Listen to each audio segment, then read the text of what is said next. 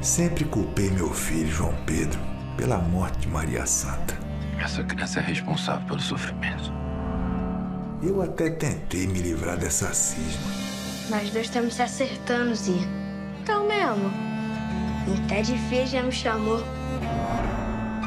Mas nem com o passar dos anos posso dizer que consegui me aproximar desse filho como deveria. Eu me pergunto se algum dia vou conseguir. Você parece que não é meu filho mesmo. Hoje é tempo de uma nova fase. É tempo de renascer.